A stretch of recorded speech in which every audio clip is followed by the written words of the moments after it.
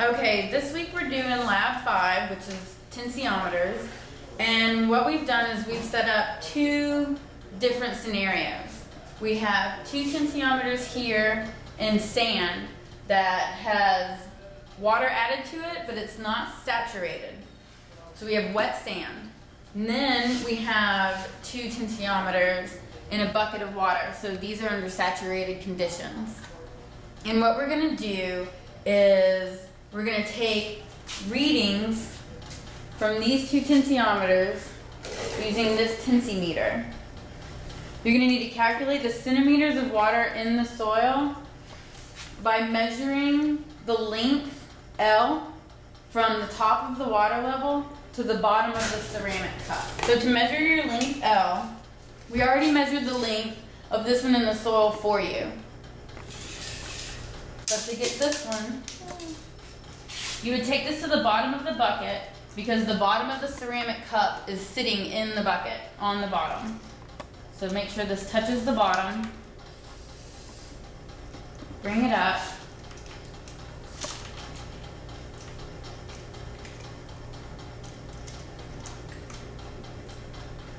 And then you're gonna read where the water level is and it looks to be about 99.2.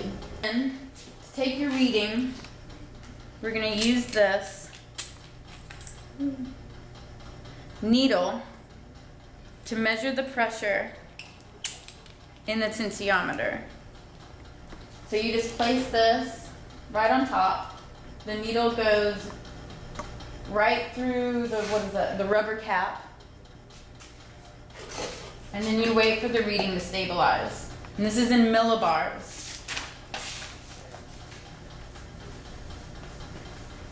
So here you would record minus eight, minus 83 or negative 83 for the tensiometer in the sand. Then you're going to do the same thing over here for the saturated tensiometer.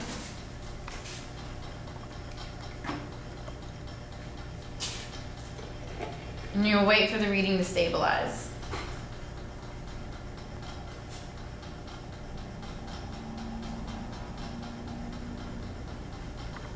So this one's stabilizing at, oh no, it's gonna go to 70.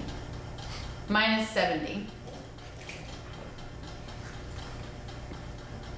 So once you've measured your L and you've got your gauge readings, you'll use it, the equation in lab five to calculate H. So you would take your gauge reading in millibars, convert it to centimeters, and add that to your length which is the length of the water column of the tensiometer.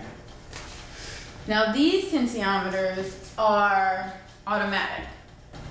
So it's attached to a data logger that's taking a reading uh, every quarter of a second.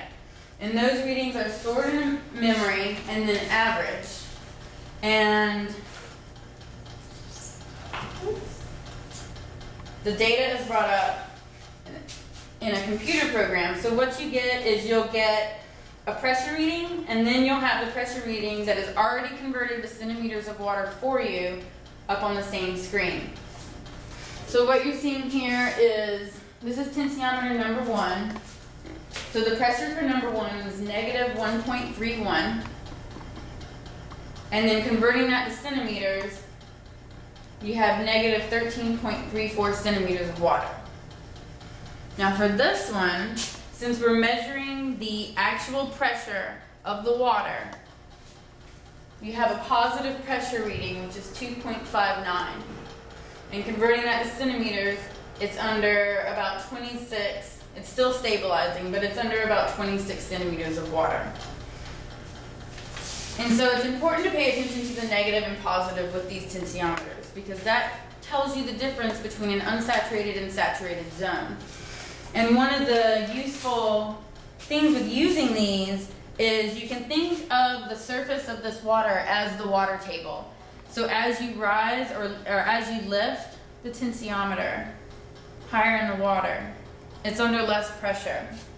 And you'll see that pressure, the pressure readings in the computer program change as you hold it here. The ceramic cup begins to stabilize. And you can sort of imagine that as being the water table drop. One of the unique things about the tensiometers is unlike piezometers, you can actually use these in unsaturated and saturated conditions. So you're able to tell where the water table is, and if the water table does drop below your tensiometer, you're still able to take readings of the water in the soil. Another thing you're gonna wanna do is do an actual measurement of the depths of water in the bucket. I can never get these to lock. Okay. And here it looks to be 28 centimeters. So now you can compare the centimeters of water that we've actually measured to the centimeters of water that you're getting from this tensiometer in the computer program. You can also compare it to the to the centimeters of water that you calculate uh, for this for this tensiometer. And then since we lift this up so the bottom of the cup is just below or just above the blue line, and we wait for that to change and tell us the centimeters of water at this uh, depth. We're gonna go ahead and measure that as well. So from the blue line to the top of the water is 12 centimeters. So when you calculate, when you calculate your centimeters of water here and you read your centimeters of water from your computer program, they should be about the same as what we just measured.